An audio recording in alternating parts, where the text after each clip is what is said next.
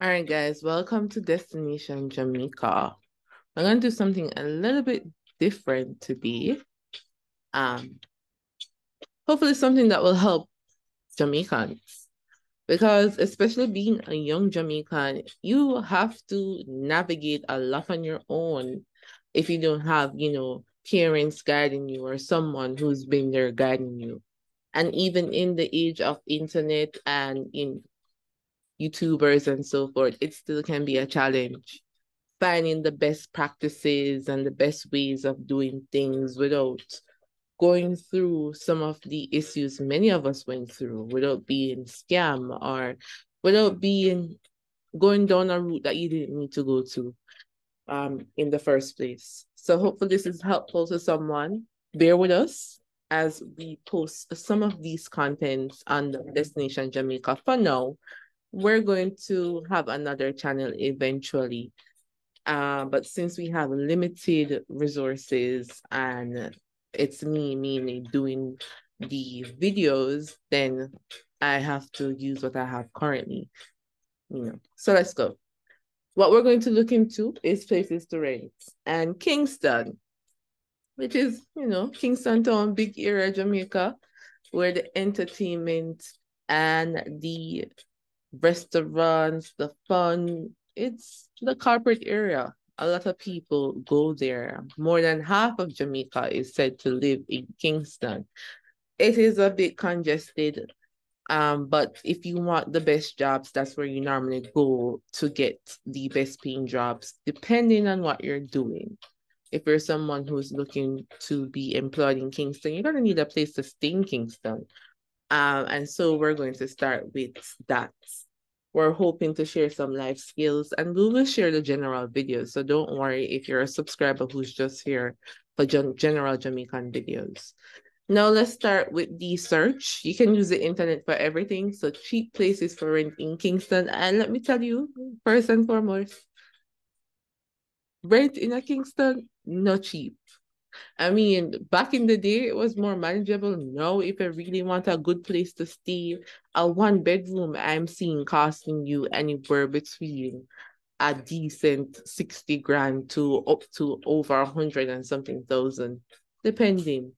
Um, I mean, you can still find some places that are in midtown or, you know, in a city that are within someone's budget are a bit more reasonable, but not not everybody wants to live there. But let's do the show search and see what's happening. Let's look at some of these houses. Now, some of the places um page I like is like the classic field, Jamaica. Found a few places on there. And look at these rent prices. They're having houses for 160, but that's a three bedroom house and two bedroom house. Now, if you're someone who don't have the money, but you know someone who's looking for um some place to rent, you could possibly combine. Guys, sometimes we have to do them stuff they will probably want to live on our own and want private yard and all of them things there. But for survival purposes, it doesn't have to be forever. It's just a temporary solution. You might have to live with a family member or with a college um friend or something of the sort to make it work. Just be respectful to each other and get out of the struggle. So and you know we can do it together no let's look at these three well that's a bit hectic but let's look at the cheapest one this is what I don't like is that they don't show the photos. So I don't know what it looks like. And when you're somebody who have limited amount of money, even if you're somebody who have a good paying job, you don't have money for waste like that. You need to be able to see what your options are in this day and age so that you can ascertain what it is from looking on the pictures online. you don't waste the time and you fear to go someplace where you know say you're not gonna like in the first place. But this is one thing. Let's click on it. Um, boarding for male tertiary students only, it seems. And it's a bedroom share and it's 24,000. Okay, and there's nothing else. But here are some similar items. A one bedroom furnished and one bedroom for 30. So let's look at the one bedroom unfurnished and then go back and look at the one bedroom. So this is our um one bedroom for thirty thousand dollars. It was just posted well less than 24 hours ago. You can see the pictures to see what they look like.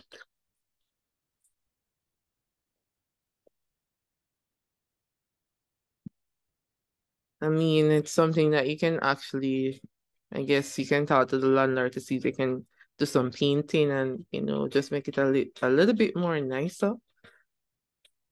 The people say it's a place to live in. But I know these areas, I don't like how they look. But we have to do what we have to do. We can talk to the landlord and have it fixed up before we move in. But $30,000, sometimes that's the best I'm seeing um, and it's in Papine, and those things can get really expensive. I mean, people getting paid 60,000, 80,000, 30,000 for rent plus light bill will be like, depending on how much light you're using, but between five to, uh, I hear people saying their light bill going up to 15,000. Then you have water, you have internet bills. So you have to consider all those different bills plus your food bill, right? So I suggest that you look realistically at how much you're bringing in and have a budget. So that's the first thing. You're not going to go into this, um, you know, blind. You're going to be smart. Now, let's look at something else. We're not going to look at the one with, with no pictures because we can't tell anything from that. But let's look at the furnished one to see what that looks like. I thought I just saw it.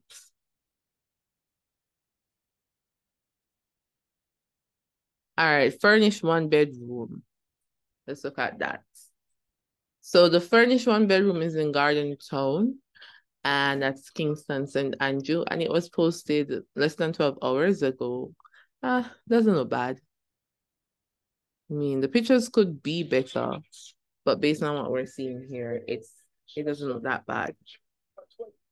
Personally, I love windows. I love natural light and air. So I like any place I'm gonna live to have windows and air uh, and natural light.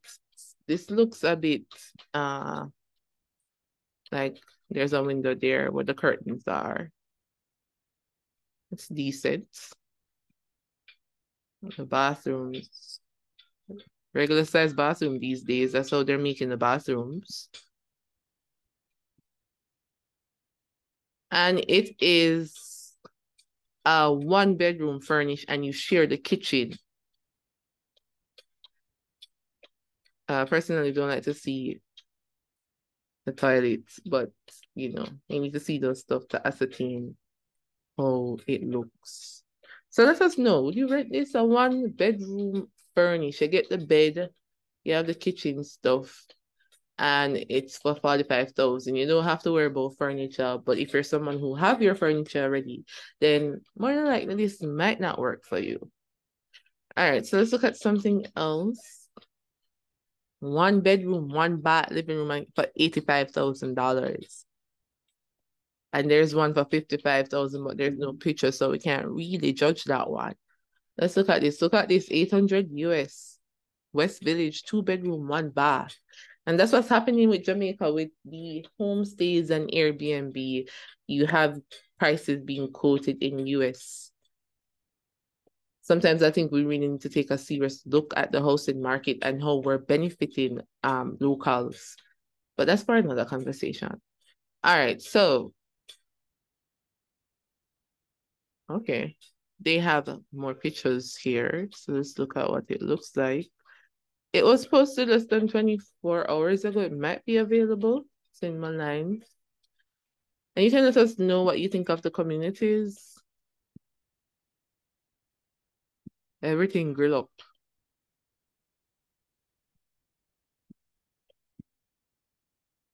Look at the kitchen.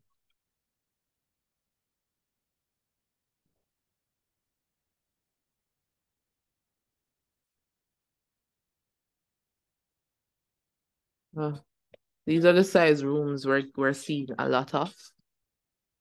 Everything is being built in apartment style. So them spacious rooms there were enough people used to, you might not see that here. This one living space. for you to go to work, come home, relax at night, then go to work the next day. I will say if you're a Jamaican, especially a young Jamaican, look into getting your NHT benefits, your home or land loan. So you don't have to go through this process forever. But if you're someone who don't want to do any of that, then that's totally fine. It all depends on you and your preferences, your goals. Looks like it's being, you know, in construction there. Probably they might build up some stuff or it's newly built. All right, so there's one thing I know they're probably trying to rent out the place, but I would suggest I see um listings making this issue in this day and age. They're having this posting of photos that are not the best quality photos and having something like work being done in the picture. We don't need to see that. We need to see the space for what it is. But yeah, let us know what you think about that. Let's look at one more. You're having one bedroom furnished, one bedroom, three bedroom for rent in St. James, Manchester. Oh, look at this three bedroom lower flat of two, but that's in the country. So, of course, that would be negotiable. And the price is not bad. So if you realize that the differences between town and country is that in the country areas, you can still find um decent houses for um that price. Now let's look through some of the ones in Kingston since we're oh let's go back.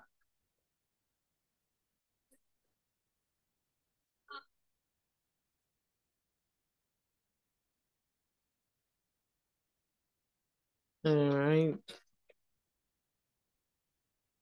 Look at this. Rooms are and furnished $30,000. That's in Papine. Let's look at the pictures.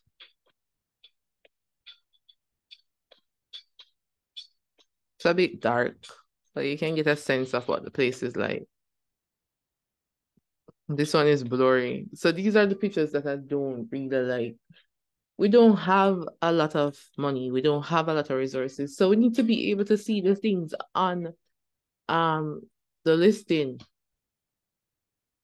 Nobody got time to waste money and time to go all of these places just to have a real feel of how they look.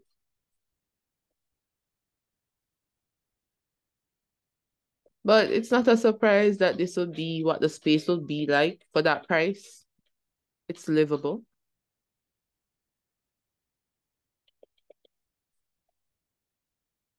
All right, we're gonna look at one more.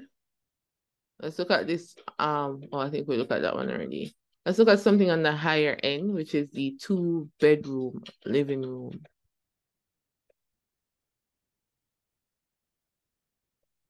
Okay, I like this space. I mean the kitchen. In the meanwhile, tell us where do you look for places to rent and what is the most affordable parish for you to live in? With the buildings of highways, it can be easy to commute from one parish to the other. So you might see people living in some of the, you know, more country areas and commuting to Kingston for work.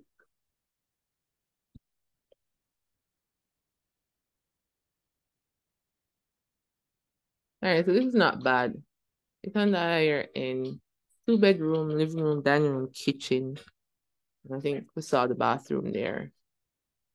All right, so what else we're gonna look at? I think that's it for now. So these are this is one of the platforms you can use, but be aware that you are able to have a contract. Sometimes it's good to go through a real estate agent because they have vetted everything or should have vetted everything. But do your due diligence. Um, they will let you know that a deposit is normally required, normally one or two months, um, plus the first month's rent.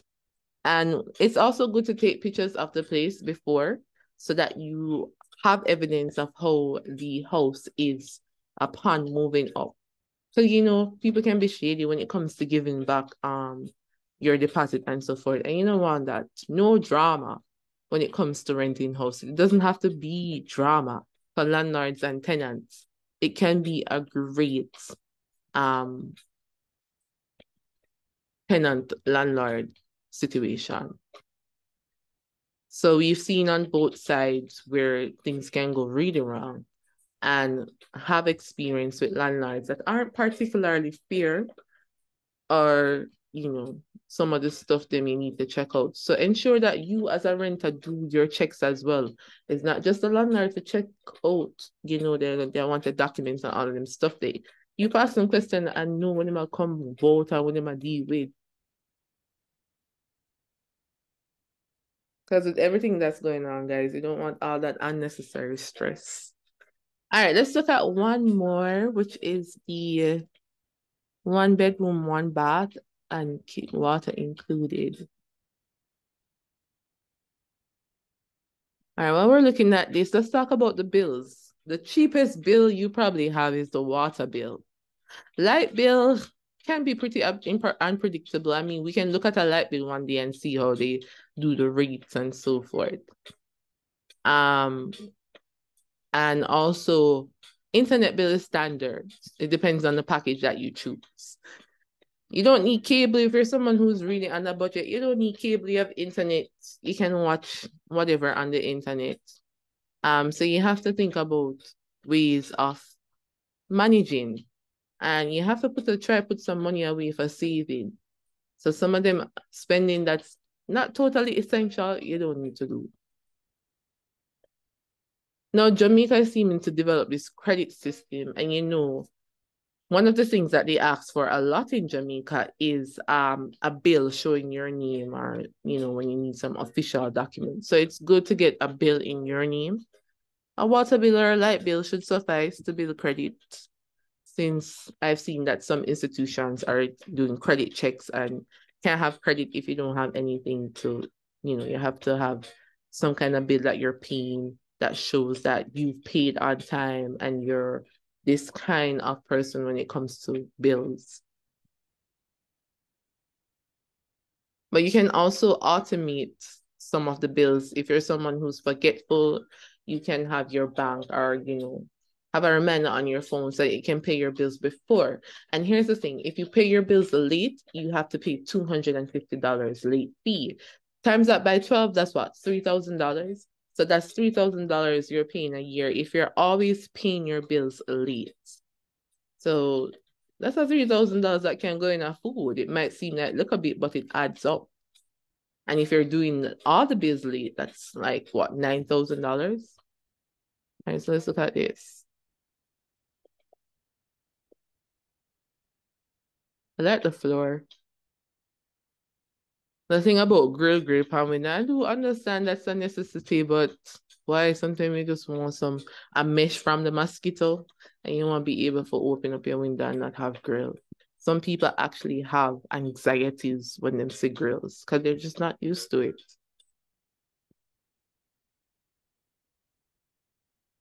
All right, guys, I think that's it. Um, you can go to the real estate sites Let's see which ones comes up. You can also go on Facebook, but as I said, do your due diligence. You want to ensure it's legit renting opportunities that you're getting. Um, property cozy. Uh, this is a real estate site, so you could look at them.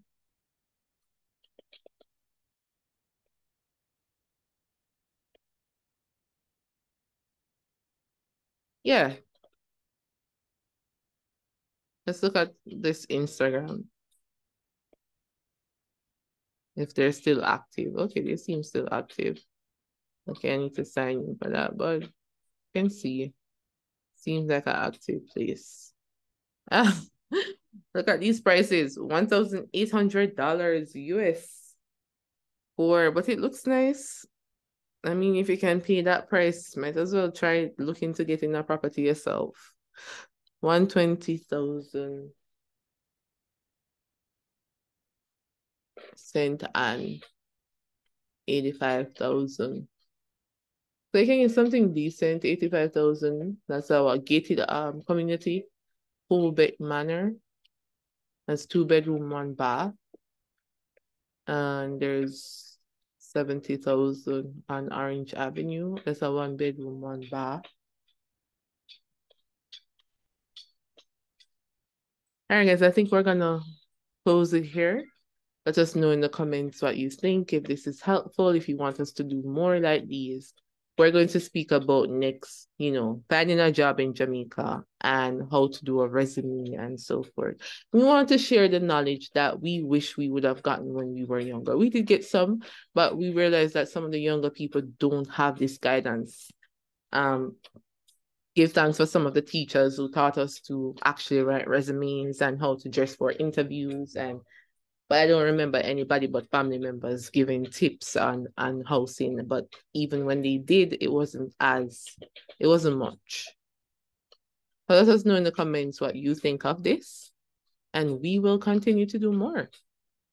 All right, so you have a great day. Have a blessed one. And we have more general content. We're working on a lot as relates to content. It takes time to write the scripts, to do the videos, and so forth. So we're trying to do the best videos possible. And we can't wait to share some of the exciting content that we have coming your way.